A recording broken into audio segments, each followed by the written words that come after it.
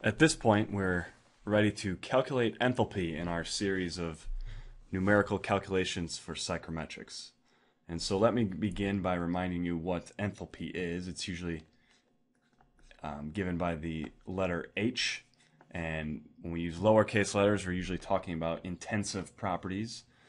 Uh, and we use capital letters when we're talking about extensive properties, where an extensive property is not normalized per unit mass or per unit something. So if you remember what enthalpy is, it's internal energy plus the pressure times the volume term. And what we really want in this case is the intensive property of enthalpy with regards to the dry air. So let me just quickly derive what this formula is equal to. Because we're dealing with an ideal gas of two substances, we usually break it up into vapor and dry air. We can take this total enthalpy and it's going to simply be the sum of the dry air component and of the vapor component, H2O. And if we know that we can normalize, if we take a big H and we divide it by uh, the mass of that component, we get a little h. We can take these two components and we'll have the mass of the dry air times the enthalpy of the dry air plus the mass of the vapor times the enthalpy of the vapor. That is still equivalent to this.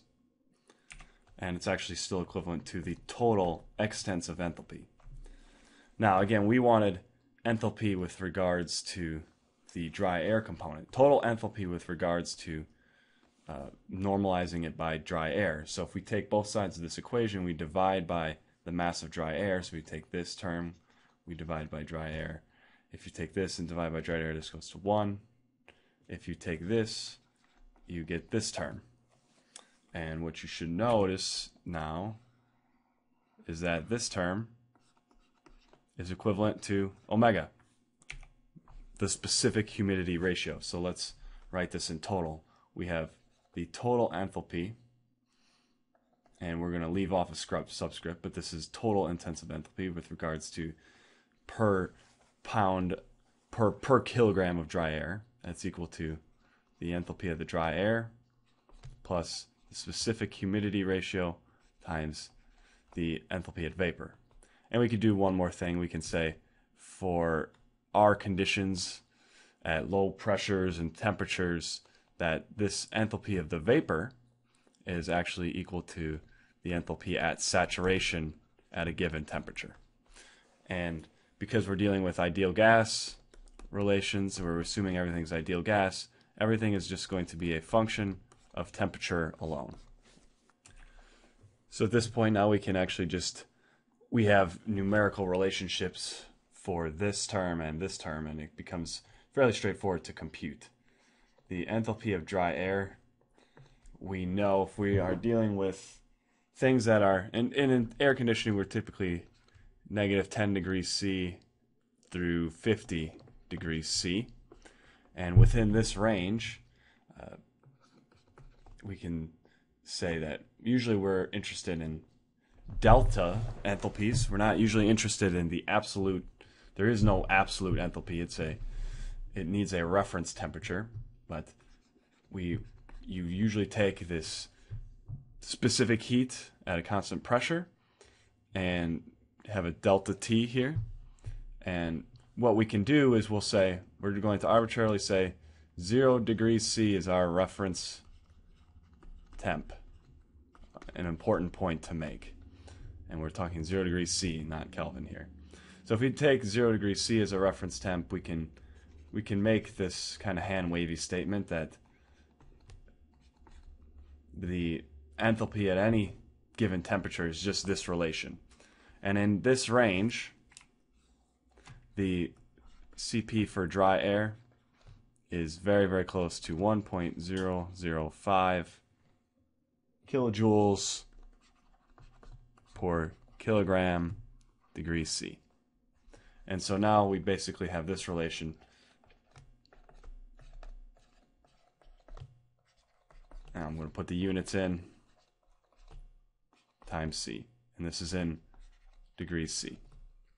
So we have that part. And all we need now is this H at saturation with temperature, which or H at vapor to be more precise.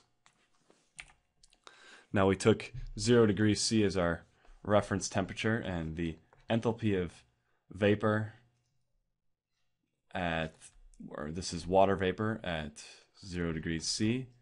That is around 2,500 kilojoules per kilogram degree C.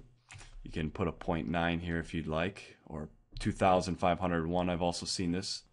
And the CP of the vapor in this temperature range, this negative 10 to negative, negative 10 to 50 degrees C, that is about 1.82 kilojoules per kilogram degree C.